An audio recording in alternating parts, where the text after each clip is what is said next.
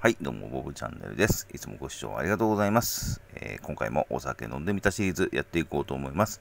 えー、本日いただきますのはサントリーから出ておりますザ・丸ごと日向夏でございます。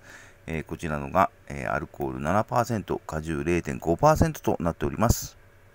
あの、サントリーの、あの、言わずと知れた丸ごとシリーズですね。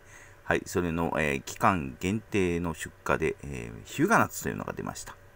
はい、あの、日向夏というのは多分、えー、八作とかあんなようなのの仲間という、すいません、あの、ちょっとわずかなあの知識で言ってますんで、なんか、みかんとグレープフルーツの間みたいなもんだと、はい、思っております。あの、先日飲んだ、あの、贅沢絞りだと全然わかんなかったんですけども、まあ、単体でちゃんとなってれば、美味しいのがわかるのかなと思いまして、はい。今回はこちらをいただいてみたいと思います。そうですね、まあ、0.5%でもあの、なんですか、つけたお酒というのがあるんで、まあ、まあまあ美味しくいただけるんだと思います。はい。では、ワンハンドで開けて、はい、開きました。はい、いただいていきます。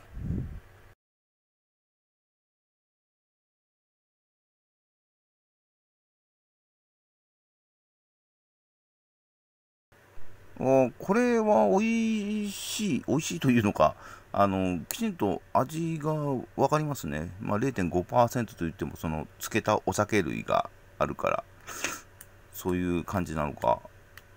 うーん、まあ、やっぱりみかんとも違うし、グレープフルーツとも違うしって感じですかね。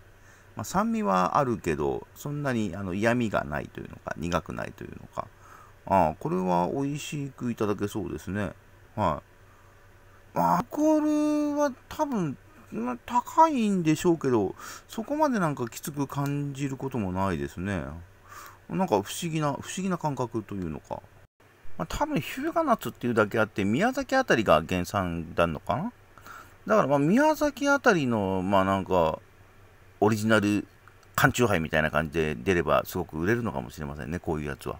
まあ、ちょっと評価がとっちらかっちゃってますけども、まあ、夏向けにスッキリで、これは1回限定ですから試してみてください。